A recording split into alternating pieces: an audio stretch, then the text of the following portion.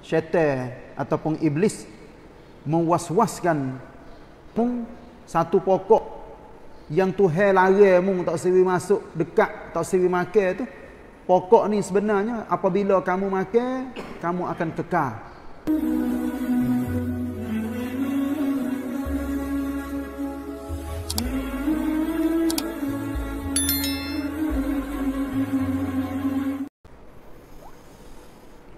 أعوذ بالله من الشيطان الرجيم. ولقد عهدنا إلى آدم من قبل فنسي ولم نجد له عزما. وإذ قلنا للملائكة اسجدوا لآدم فسجدوا إلا إبليس أبى. فقلنا يا آدم إن هذا عدو لك ولزوجك فلا يخرجنكما من الجنة فتشقى. إن لك ألا تجوع فيها ولا تعرى وأنك لا تظمأ فيها ولا تضحى. فوسوس إليه الشيطان.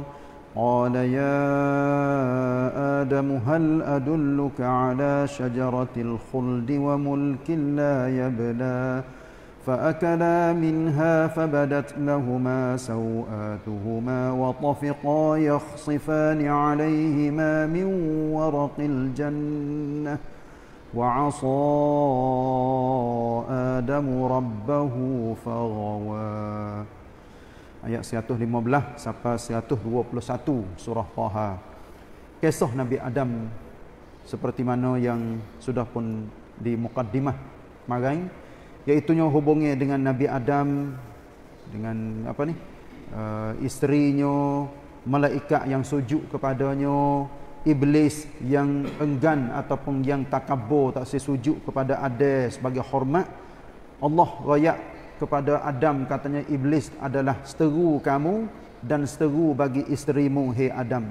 Janganlah menyebabkan uh, menyebabkan iblis itu dapat kuasa ataupun dapat peluang mengeluarkan kamu daripada syurga. Sebab mung duduk di dalam syurga kamu tidak akan lapar dan tidak akan bertelanjang dan kamu tidak akan rasa dahaga dan tidak akan rasa panah dengan matahari. Tapi takdir Allah Subhanahu wa taala syaitan ataupun iblis mewaswaskan Adam dan isterinya. Sehingga iblis ataupun syaitan mari tanya ada. Mun nak kedak aku nak wi tunjuk ataupun aku nak royak kepada mu satu pokok yang Tuhan larang mung tak siri masuk dekat tak siri makan tu pokok ni sebenarnya apabila kamu makan kamu akan kekal. Buat selama-lama. Maka Adam pun rasa rasa robah hati. Duk pergi dengar perkataan iblis saat ni maka dia makan. Adam dengan Hawa makan pokok kayu di dalam syurga maka gugurlah pakaian yang Allah Ta'ala beri kepada dia dan isterinya. Guguh habis luruh. Jatuh habis pakai ia tak boleh pakai semula maka itulah dia ambil daun-daun kayu yang ada di dalam syurga mai katuk.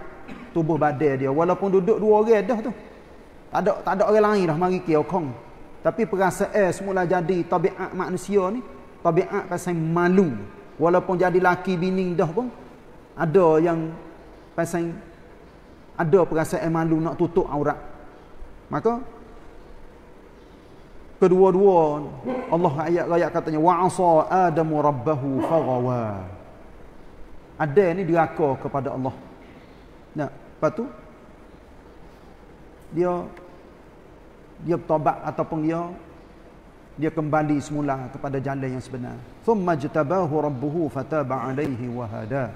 Lepas pada tu dia kembali kepada Allah ataupun Allah menerima taubat penyesalan yang ada sesat Allah Taala buka hidayah royak kepada dia nasihat kepada dia serta dengan ajar gapo doa hak mula-mula sekali Allah ajar kepada manusia seperti mana yang disebut di dalam surah Al-A'raf iaitu nya Rabbana zalamna anfusana wa illam taghfir lana wa tarhamna lanakunanna minal khasirin wahai Tuhan kami kami sudah pun zalim kepada diri kami sendiri. Jika engkau tidak mengampuni kepada kami dan rahmat kepada kami nescaya kami termasuk di dalam golongan orang-orang rugi. Ini ha, doa yang pertama walaupun tidak sebut di dalam surah Taha tapi sebut di dalam suratul A'raf dan surah lain-lain yang Allah Taala sebut kisah Adam alaihi salam dengan isterinya dan menjadi kisah mula-mula kejadian manusia. Macam itulah dia panggil silsilah. Boleh jadi nak jadi cerita panjang manusia hidup di atas muka dunia sampai hari kiamat? Bermulanya daripada kisah Adam ni dah. Alhamdulillah. Kalau tak ada tu ada tak ada tu hawa tak ada manusia atas muka dunia. Nah tapi sebab belaka Allah Taala atur siap-siap dah. Sejak daripada azali lagi Allah Taala atur mengikut kudrah dan iradah dia. Katanya manusia akan hidup di atas muka dunia sampai hari kiamat? Melalui apa? Melalui penciptaan Allah. Akan Nabi Adam dan Hawa itulah. Alhamdulillah. Kita klik kepada ayat 115 semula. Eh saat ni saya royak dengan secara rekah nak wi gambar katanya inilah isi yang dibaca. Isi dia gapo kata. Maka kembali ayat 115 walaupun kita baca dah kemarin tapi baca sekali lagi. Dan demi sesungguhnya kami telah berpesan kepada Adam pada masa yang lalu. Tetapi ia lupa. Dan kami tidak mendapatinya mempunyai keazaman yang teguh. Ini ha, sudah pun kita baca dah kemarin. Tak ada, tak ada nak ular eh. Mari ayat yang ke-119. Dan ingatkanlah peristiwa tetap kala kami berfirman kepada malaikat. Apa tu? Sujudlah kamu kepada Adam. Sujud di sini semua ittifaq ulama katanya bukan sujud ibadat. Tapi sujud hormat. Sebab dengar perintah daripada Allah, Allah suruh sujud, maka malaikat pakat sujud belakang.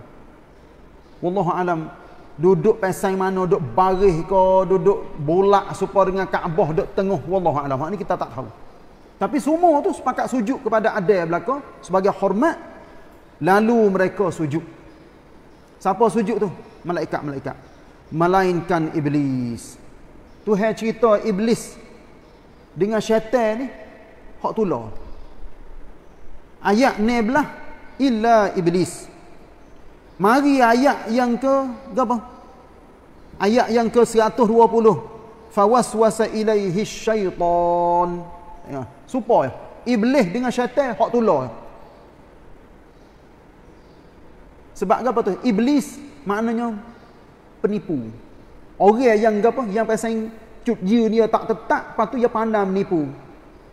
Dia panggil apa dalam bahasa Arab dia panggil balasa balasa ni maknanya pasang liar. Cut cut cut cut cut cut cut pandai menipu.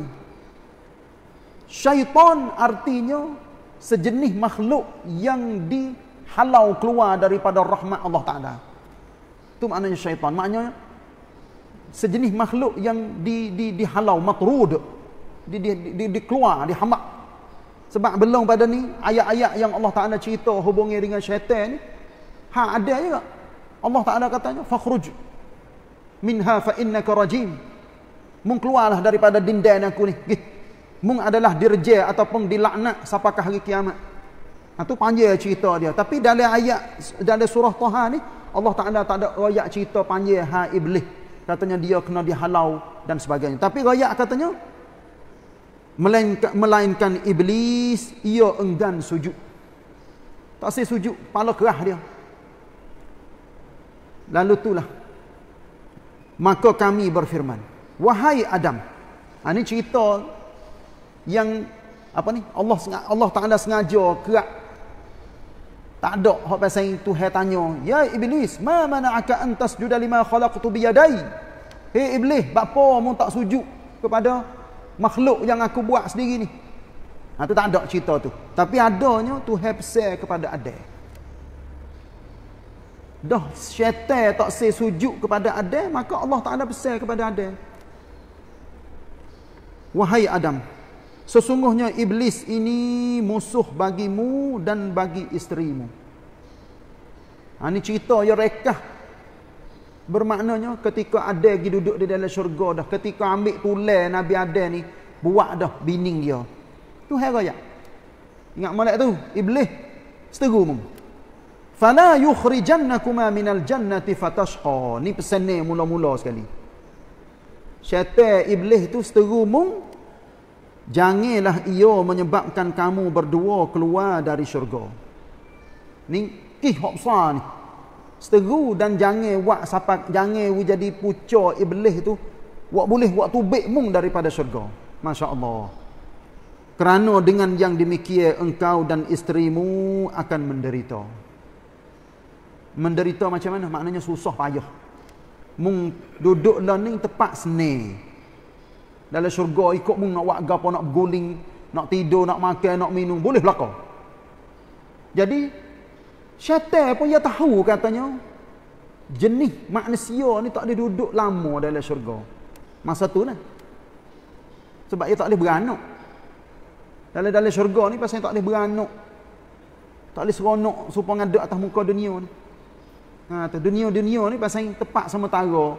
Beranak, cucu, cicit, cocok. Tapi dalam syurga tak. Maka Tuhan pun royak. Royak lagi nin kepada ada dengan Hawa. Innaka innalaka sesungguhnya telah dikurniakan berbagai nikmat bagimu bahawa engkau tidak akan lapar di dalam syurga itu dan tidak akan bertelanjang. Tengok.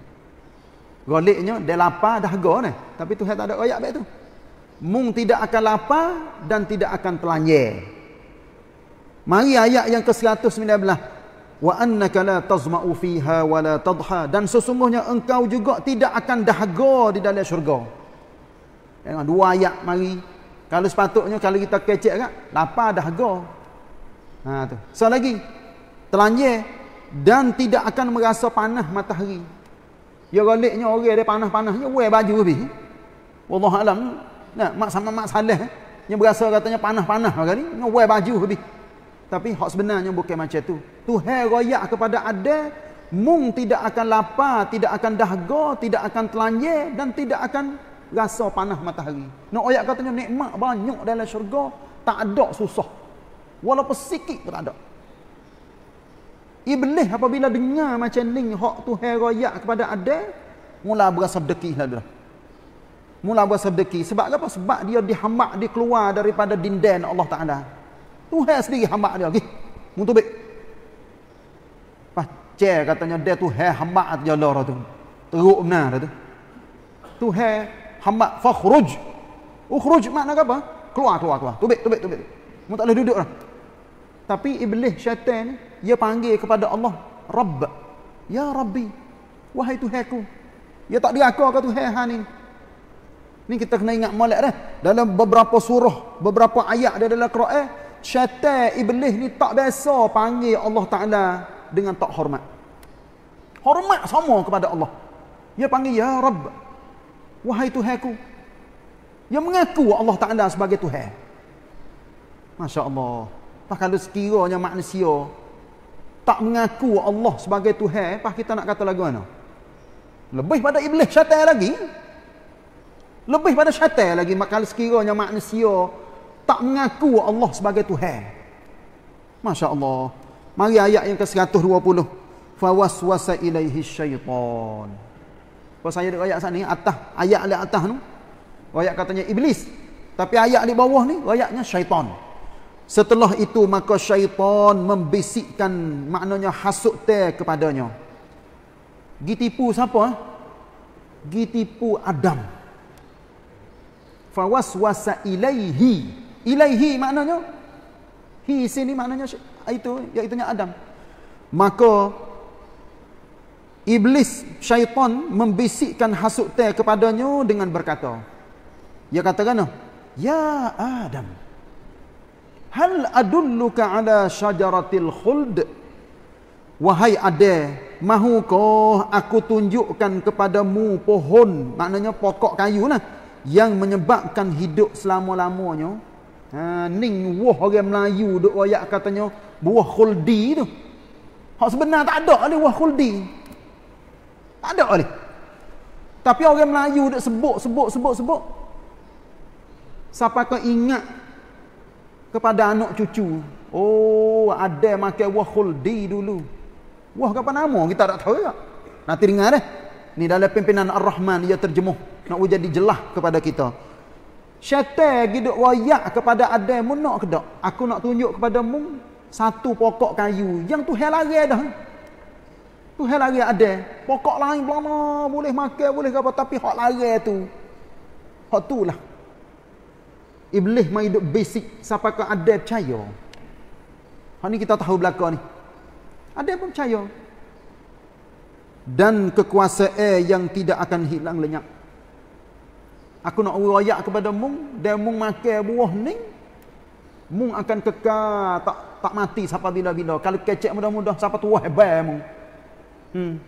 Tua kecuk. Janguk-janguk tak tahu boleh jadi panjang sampai kaki kali. Mung tak mati dah sampai bila-bila. Lepas tu apa lagi? Dan kekuasaan yang tidak akan hilang lenyap. Mu akan duduk dalam ni sakmo sampai bila-bila. Tengok dah dalam pimpinan Ar-Rahman dia ada terjemuh sikit sebanyak. Yang Allah Taala royak di sini iaitu setelah Allah Taala menerangkan perihal Al-Quran ini panjang dak. Saya nak baca ambil tengah tu. Bahkan hendaklah dikerjakan dengan bersungguh-sungguh lalu diberi contoh tentang apa yang telah terjadi kepada bapa manusia Adam salam yang telah melupakan apa yang telah diperintahkan kepadanya semasa ia dalam syurga supaya jangan menghampiri pokok larangan tetapi ia telah melupakannya. Ayat hak tu eh. Bukan arti pokok khuldi dak. Buah dah, buah daripada komun kita hadap dalam otak kita buah khuldi tak ada, tak ada. Hilang, hilang, tak ada. Wi habis. Ingat katanya satu pokok yang Tuhan larang tapi khuld adalah perkataan yang iblis sendiri duk reka-reka katanya pokok ni mu makan mu akan kekal ha tu fa akala minha fabadat lahumā sawātuhumā ayat 121 kemudian mereka berdua memakan dari pohon itu. Lalu terdedahlah kepada mereka aurat masing-masing. Ha ni aurat mula-mula sekali yang Tuhan sebut di dalam Quran dalam kisah lah bukan arti dalam dalam Quran dak kisah mula-mula manusia iaitu terdedahnya aurah iaitu kemaluan aurah di sini iaitu kalau tengok di dalam Quran sawatuhuma sawa maknanya apa? Kemaluan orang jatuh orang tino tu. Habis. Pakai ye tak ada dah. Jadi telanjang bogel dan mereka mulai menun, men, apa ni? Menutupnya dengan daun-daun dari syurga. Dan dengan itu derhakalah Adam kepada Tuhannya lalu tersalah jalan dari mencapai hajatnya Allah. Lagu mana eh? Nanti tengok. Eh semulalah sebab masa habis dah. Kita akan sambung semula ayat yang ke-121 gapo yang Allah Taala royak hubungnya dengan ada sebab dia pergi makan buah tu jadi dirakalah dia. Tapi ada ni orang berjuru orang baik. Dia bertobat selepas daripada itu. Nah, wallahu a'lam. Wa sallallahu ala nabiyyina Muhammad wa ala alihi wa sahbihi wasallam. Wassalamualaikum warahmatullahi wabarakatuh.